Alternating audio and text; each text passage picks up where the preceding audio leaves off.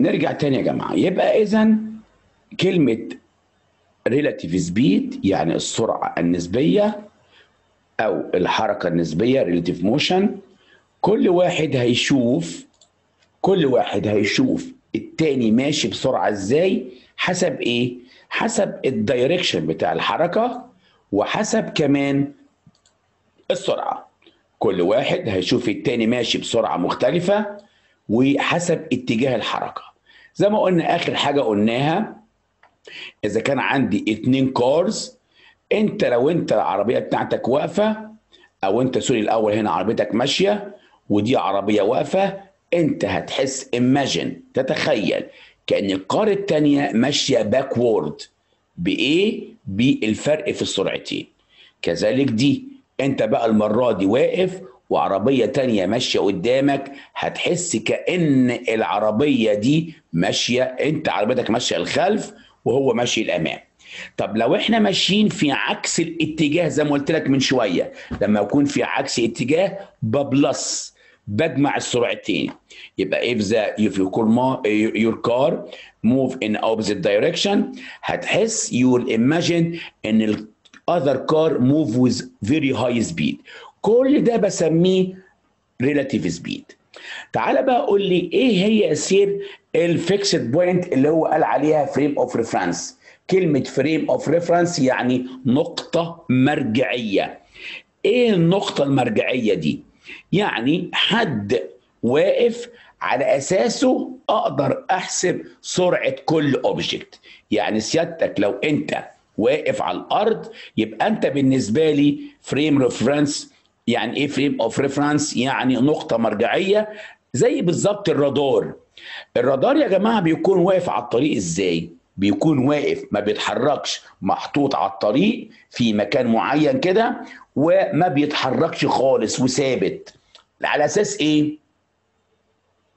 على أساس إن ال ال ال ال العربية اللي هتمشي قدام الرادار الرادار بما إنه ساكن هيعتبر هو ال frame of reference اللي هي نقطة مرجعية وبالتالي هيقدر إن هو يحسب السرعة الفعلية بتاعة ال car لأن أنت واقف. طيب لو لو الرادار ده بيتحرك هتبقى سرعة نسبية relative speed علشان كده لما أجي أعرف what is relative motion ما هي الحركة النسبية. يبقى it is the change in the object position. معنى إن ال object position اتغير يبقى أنت كده في حالة ال motion from time passes. بس بالنسبة بقى لمين relative to another object or a fixed point. لو كنت fixed point أسمي ده frame of reference. تعال نقولها بطريقة تانية. زي ما قلت لك من شوية أنا لو عندي جسم بيتحرك الجسم بيتحرك ده في هذا الاتجاه. علشان أقول إن بيتحرك بسرعة كام وتبقى سرعة فعلية لازم يبقى في frame of reference يعني نقطة مرجعية. هي اللي تراقب حركة هذا الجسم. وبالتالي زي الرادار زي ما قلت لك فبالتالي تبقى الحركة اللي هنا هي الحركة الفعلية بتاعت هذا الجسم وأقول إن الجسم ده بيتحرك فعلا بحركة بتساوي كذا. طيب لو كان جسم تاني بيتحرك جنبه هتبقى الحركة دي مش فعلية هتبقى حركة نسبية ده بالنسبة لده لكن ال frame of reference النقطة المرجعية الساكنة من خلالها أقدر أعرف السرعه الفعليه بتاعه هذا ال object نرجع تاني يبقى what is the relative motion it is the change in the object's position or direction as time passes طبعا لازم يكون الوقت بيمر relative to بالنسبة لمين another object جسم تاني or a fixed point أو نقطة ثابتة. هذه النقطة الثابتة أو هذا ال object التاني ده ال other object يسمى frame of reference اللي هو النقطة المرجعية اللي على أساسها بقدر أحسب السرعة.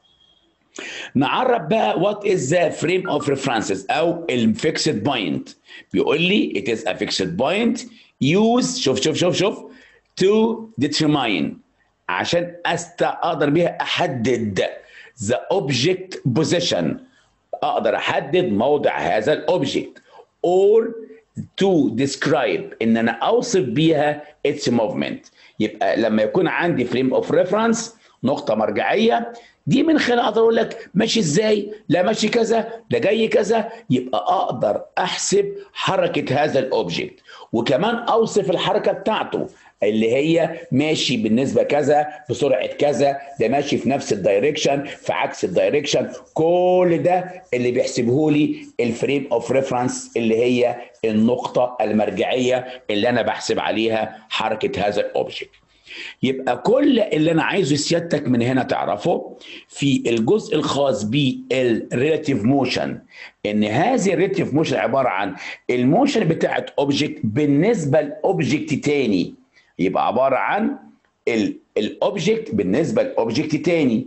يبقى دي بسميها السرعة أو الحركة النسبية.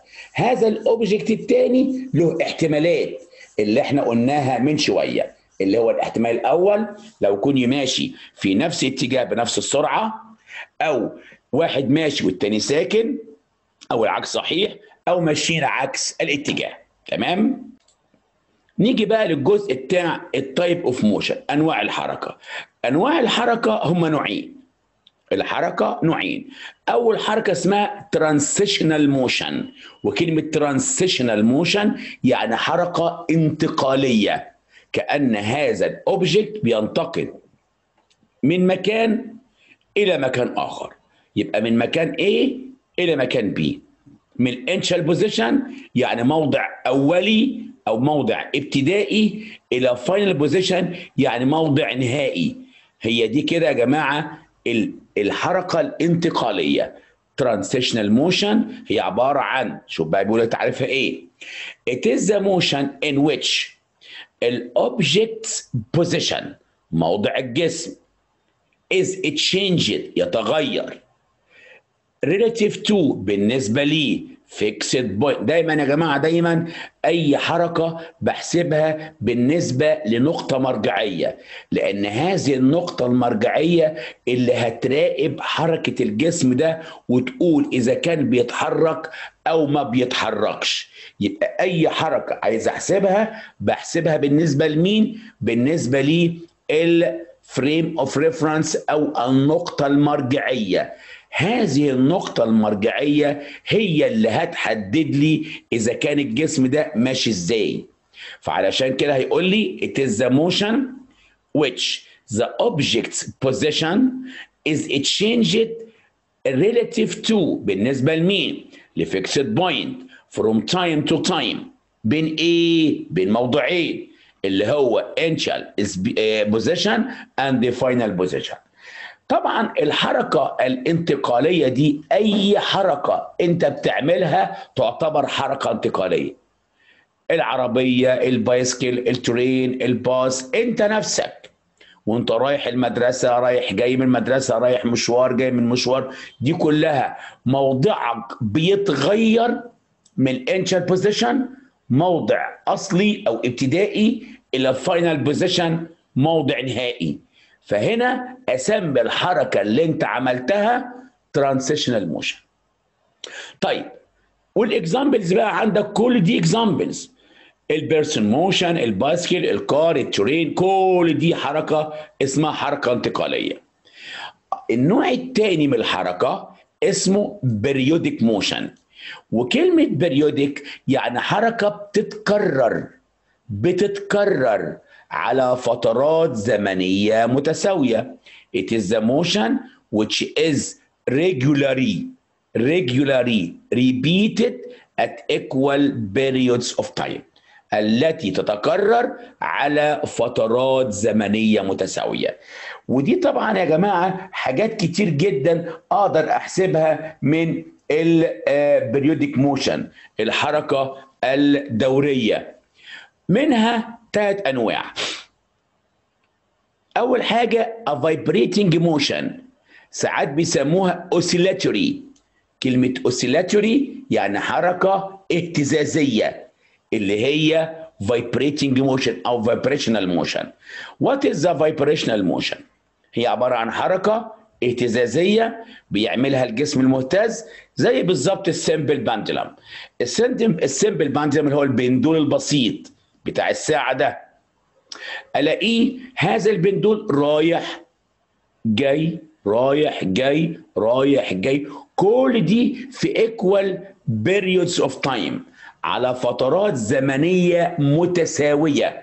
يعني بياخد كل حركة في نفس ال time around its fixed point حول موضع سكونه. بيروح كده ويرجع يروح كده ويرجع.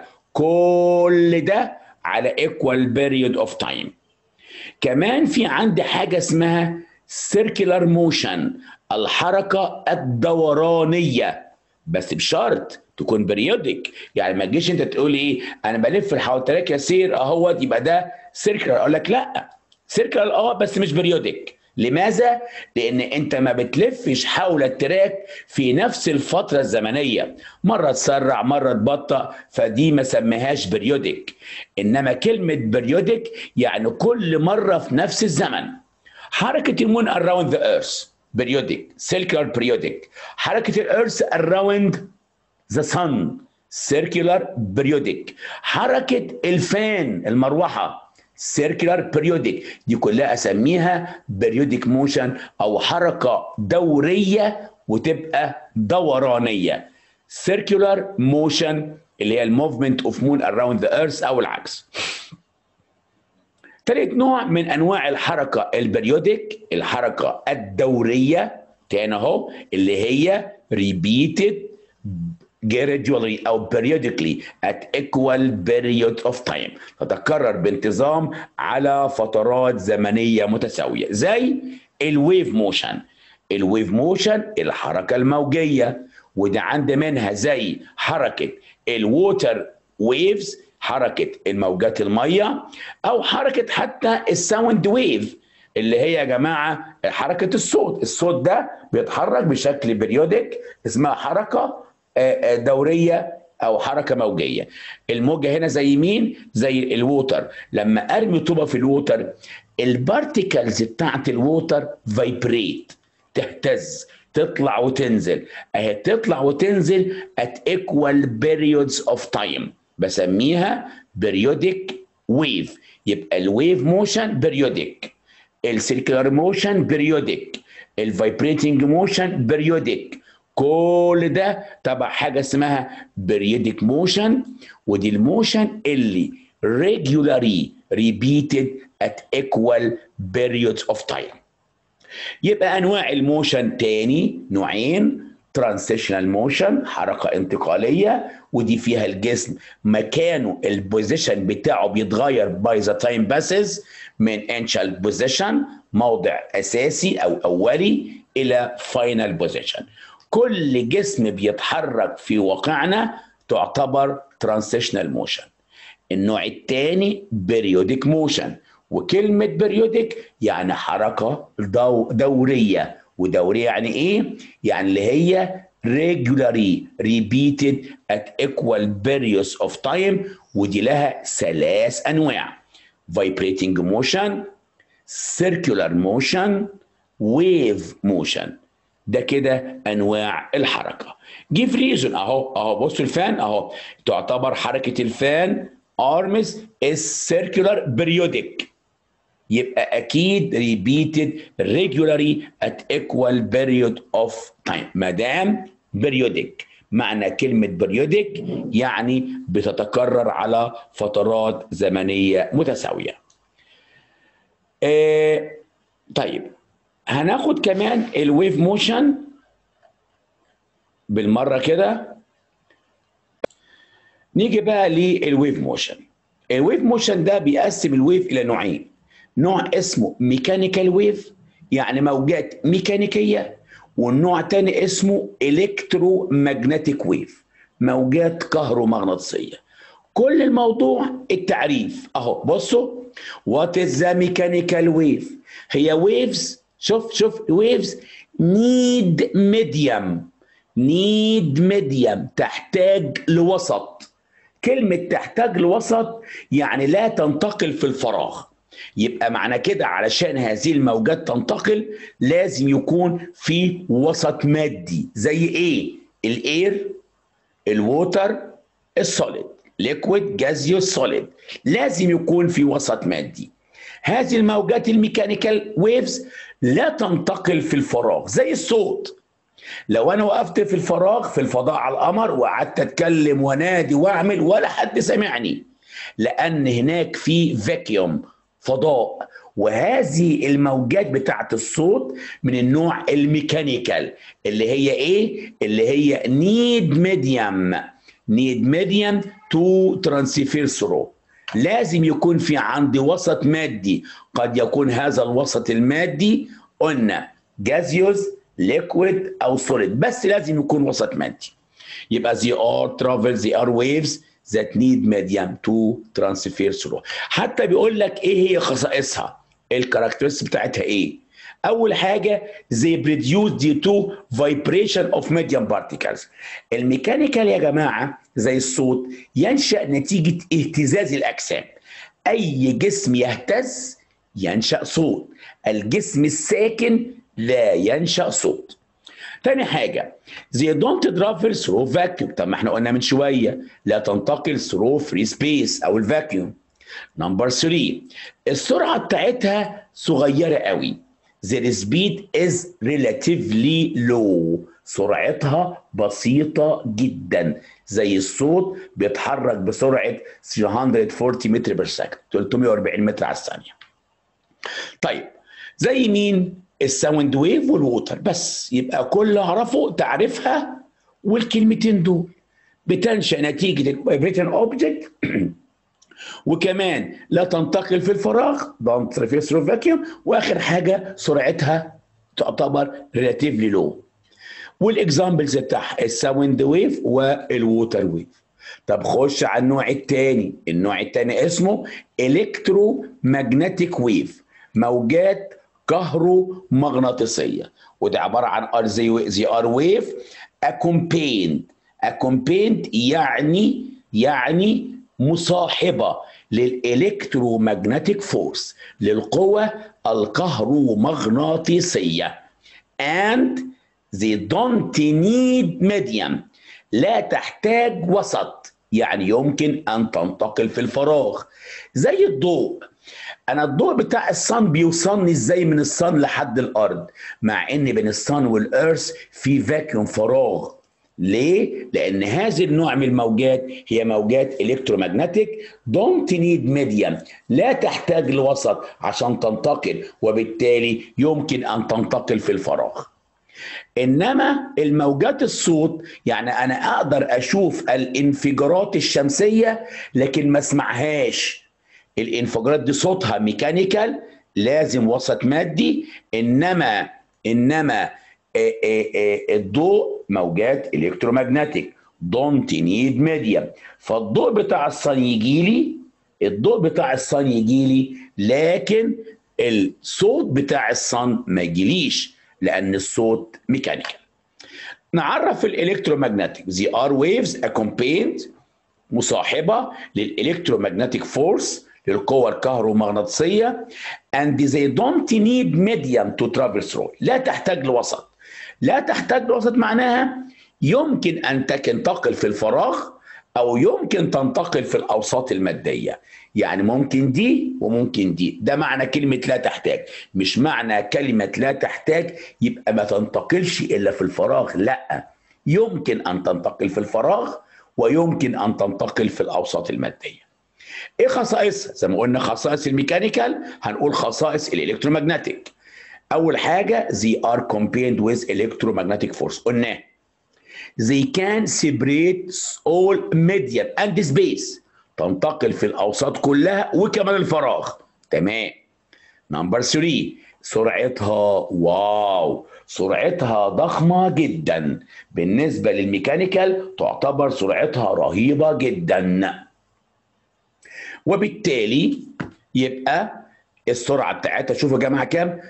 300 مليون متر per second 300 مليون متر على الثانية. وده معناها إن سرعتها كبيرة جدا مقارنة بال mechanical wave بالموجات الميكانيكية. Examples زي ال light wave زي الميكروويف زي ال radio wave زي ال X-ray زي ال gamma rays زي ال ultraviolet wave الموجات الكه اللي هي ال ultraviolet الموجات فوق البنفسجية. طيب آه تعالى بقى السؤال ده كده بيقول إيه السؤال ده give reason we receive اهو اهو we receive the sunlight the sunlight and we can't or don't hear the sound of solar explosion أقدر أشوف السلايت لكن ما أقدرش اسمع الانفجارات الشمسيه because the sunlight electromagnetic waves which can travel through space while the sound of the solar explosion ده تعتبر ميكانيكال ويف والميكانيكال محتاجه وسط مادي and doesn't transfer through vacuum. السؤال الثاني we he, we see lightning before hearing thunder بالرغم also الاثنين occur in the same time يعني البرق والرعد يا جماعه بيحصلوا مع بعض بس مين بيوصل لنا الأول؟ ال lightning لأن ال light ده سرعته كبيرة جدا. إنما ال sound بتاع ال thunder سرعته أقل. فعلشان كده لأنه سرع... لأنه mechanical wave وال mechanical wave سرعتها أقل. لكن الضوء electromagnetic wave وال electromagnetic wave سرعتها أكبر بكتير. يبقى because ال lightning ده electromagnetic wave has very high speed عن ال mechanical wave بتاعت ال thunder اللي تعتبر سرعتها low بالنسبة لل mecha... لل electromagnetic wave. ده كده أنواع ال waves وال waves ال mechanical وال electromagnetic waves.